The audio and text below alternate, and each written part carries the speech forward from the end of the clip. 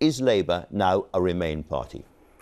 Well, our policy is that um, that anything that this government comes forward with, particularly if they're going to come forward with is no this... deal, we are yeah. going to we're, we're going to ask for a for there to be a public vote. We're going to ask for Remain to be on the ballot paper, and we're going to campaign to Remain. So, so that, that, that's sounds pretty Remain to me. That's a flow chart. I, I ask again: Is Labour now a Remain party well, under all circumstances? You. So, Ed Davey so, says no, you're not, because you go into the next election committed to a Labour Brexit. No, we're not.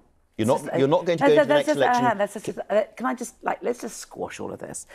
Our policy is that anything that this government comes forward with, or indeed any government comes forward with, we wish to put it back to the people. We want Remain to be on the ballot paper, and we will campaign to Remain. That's our policy. Now, the trade unions have a different no, policy, I understand that, and people are getting that confused. Okay. And Ed Davey I'm perhaps not. doesn't I'm, understand, I'm and he thinks that Part B is is is Labour's policy. It's not. So at the next election, there are no circumstances in which Labour will be campaigning for Brexit. I don't know what's going to be in our next manifesto, if that's what you're asking me. But if you've just said what you've just said, I that just, must follow. Yeah, well, I understand. I understand. I understand. I'm telling you what our policy is, mm. and then I have to tell you that I can't tell you what's happening in our next manifesto because that's the question people keep asking us.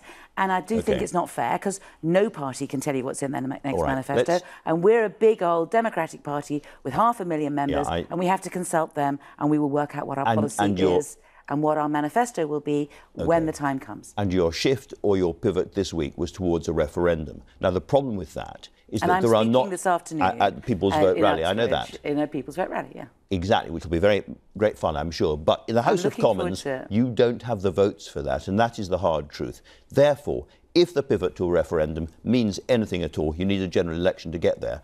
And in that general election, Labour Party needs to put a referendum into its manifesto. Needs to, otherwise it means nothing. Of course.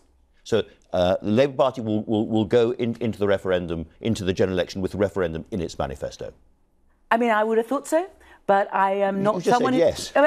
I, I mean, I, I, yes, I get the logic. It's just that I'm just being a bit disciplined about this because I'm not Don't allowed. I'm not allowed yes. to write the manifesto. You know, the Tories may have a couple of clever boys who go into a yeah. back room and write their manifesto.